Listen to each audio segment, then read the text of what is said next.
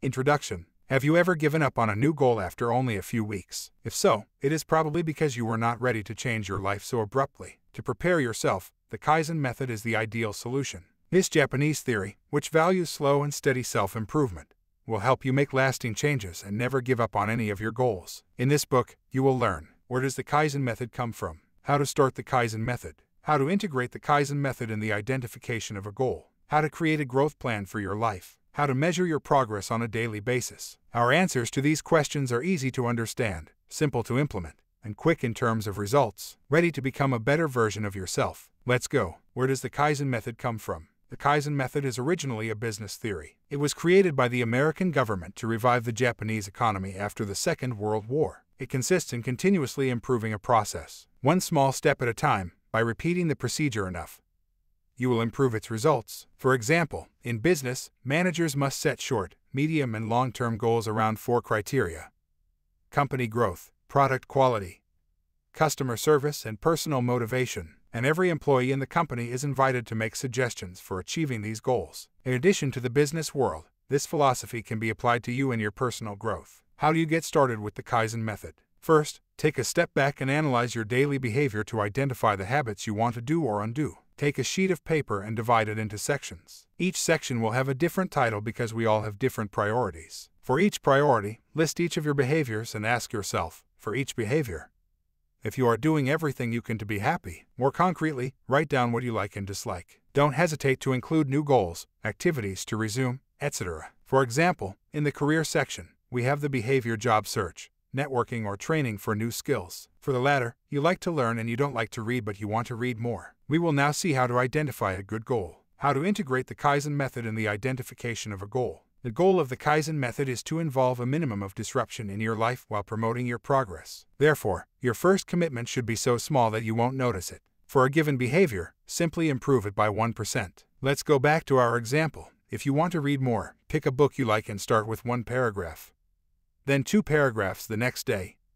And so on. Instead of setting an ambitious goal of reading one book a week, after a while, with the Kaizen method, you will be able to read dozens of pages a day which is equivalent to being able to read a book a week. Next, set a growth plan for yourself to follow to reach your goal. How do you create a growth plan for your life? First, set a long term goal, then break down your medium and short term goals. This will allow you to create a plan. Even if your goal doesn't have an endpoint, it's important to have a way to measure your progress. For example, if you want to do yoga, set a goal to attend at least one yoga class per week. For our reading example, our long term goal will be to read 52 books in 52 weeks.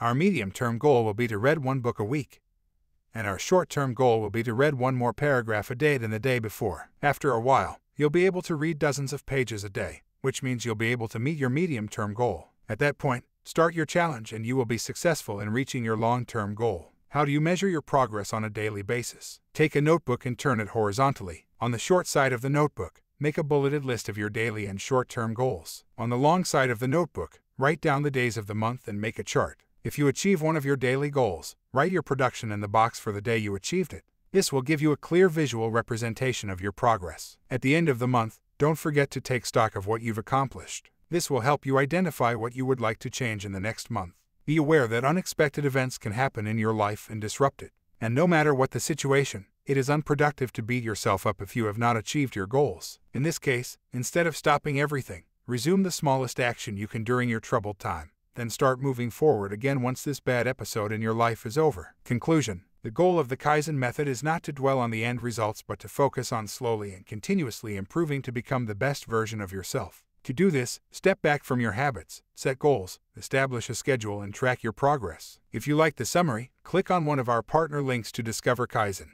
the Japanese method for transforming habits.